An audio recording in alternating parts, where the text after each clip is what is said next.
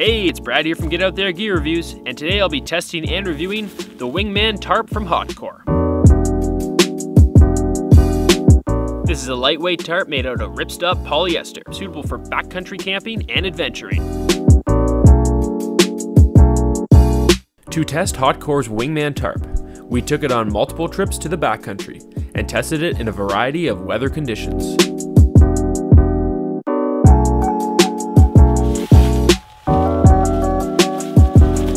Setup of the Wingman tarp is a breeze, and one or two people can easily pitch it in a few short minutes.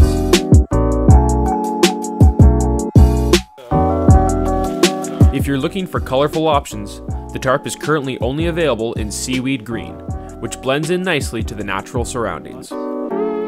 With six points to tie from, you have multiple options, but as the wingman is a catenary cut, it's often easiest to rig up from the two center points first.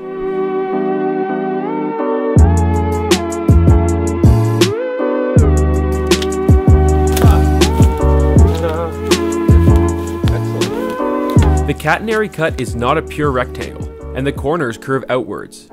This can enable a super taut tarp versus a rectangular cut. There are less pitch options, but the cut results in enhanced performance in a windy rainstorm as a properly pitched tarp flaps less. Each of the corners comes pre-strung with high visibility orange guy lines, which are easy to tie or stake for multiple pitching options and situations. The two center peaks include a grommet, allowing for setup with extension pole, trekking poles, sticks, or paddles. I have the large tarp here, which is 3.65 meters by 2.9 meters, so it's fairly large. You could sleep underneath it, or you could set it up as a rain shelter or a wind guard. The large size means that if you have multiple people or you're a large individual, you'll have ample coverage from the elements.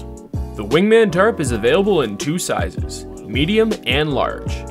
The large weighs in at 740 grams, while the medium is 75 centimeters shorter and 100 grams lighter at 640 grams. The seams are pre-taped and sealed from the factory. In rainy conditions, I did not notice any internal leakage. As with all tarps and flies, seam sealer may be required in the future, but the Wingman tarp is water resistant right from the factory. Boasting a 2000 millimeter waterproof coating, water beat it right off and we never encountered any precipitation that came close to a saturation point. I even used the tarp as a wind block on several winter camping trips and did not encounter any issues due to the colder temperatures or snow. So when we got to camp, it was still kind of raining. We set up this hot core tarp right away and he did it really quickly. We actually set up the tent underneath the tarp so that I wouldn't get all wet with the pouring sleet rain and it worked out perfectly. Even though it stopped raining, it's helped with the wind, the, the tarp, and it did keep us dry basically the entire evening.